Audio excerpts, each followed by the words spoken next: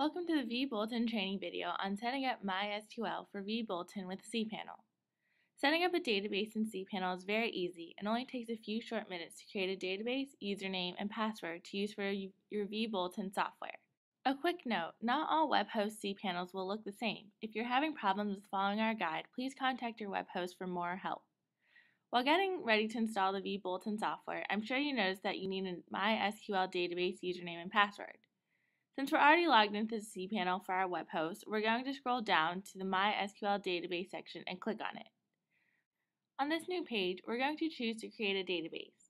Note that all databases with cPanel will have your cPanel username and an underscore before the name. We're going to call ours VB5 and click Create Database.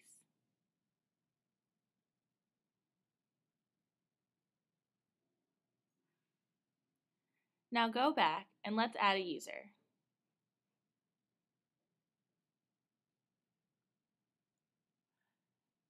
Scrolling down a bit further, we find the MySQL user section. We're going to add a user. We'll call it Walker A under dash VBull. At this point, you can either enter your own password or use a generator. Secure passwords are important, so we'll use the generator. I suggest clicking on Advanced Options, then choose Numbers Only.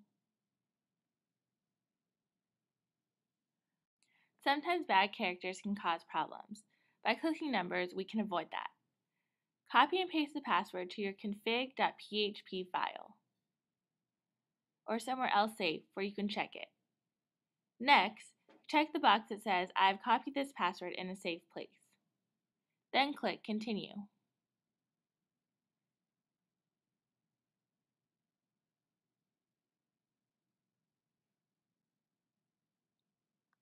Now that we've got a user and a database, our last step is to give their user permission to use its database. From the Add User to Database dropdown, make sure your user and the database name are correct and choose Add. Once the page is loaded, you should check the All Privileges box. Then you can make changes accordingly. Afterwards, we'll click Save and then we're all good to go.